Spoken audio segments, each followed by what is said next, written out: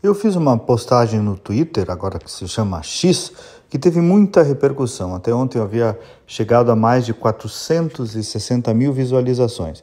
Eu disse apenas o seguinte: Felipe Martins está preso porque teria viajado para os Estados Unidos, já deu provas materiais de que não viajou, mas segue preso.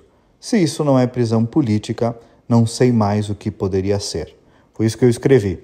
Para quem não sabe, o Felipe é um ex-assessor do Bolsonaro que está sendo acusado por participar do suposto golpe e que teria ido junto com o Bolsonaro para os Estados Unidos numa viagem, motivo pelo qual é alegada a sua prisão. Só que ele provou que estava no Paraná naquela data, a PGR concordou e mesmo assim a autoridade julgadora ainda não relaxou a prisão. O moço tem 40 anos, está há mais de dois meses preso nessas condições.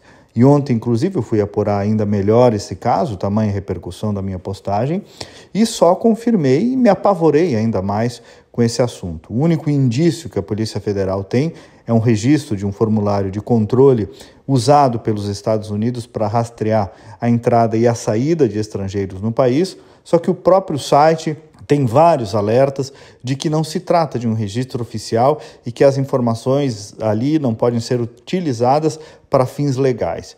Eu postei uma explicação de tudo isso bem detalhada lá no meu Twitter. Quem quiser pode me seguir lá. Mas enfim, tudo começou com a suposta informação de um colunista que divulgou que o Felipe teria entrado nos Estados Unidos, mas depois a própria Latam confirmou que ele embarcou para Curitiba. Tem uma prova cabal, foram conferir a lista de pessoas que embarcaram naquele avião presidencial, então do Bolsonaro, e o nome do Felipe não constava na lista de passageiros. Essa informação foi o próprio governo Lula que deu.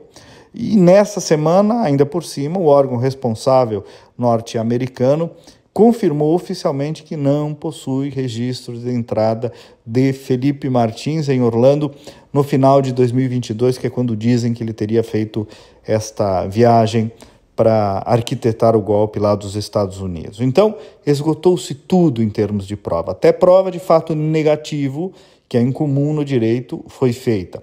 Mas Felipe continua preso. E pelo bem da justiça e do tal Estado democrático de direito, ele precisa ser solto, gente, e já.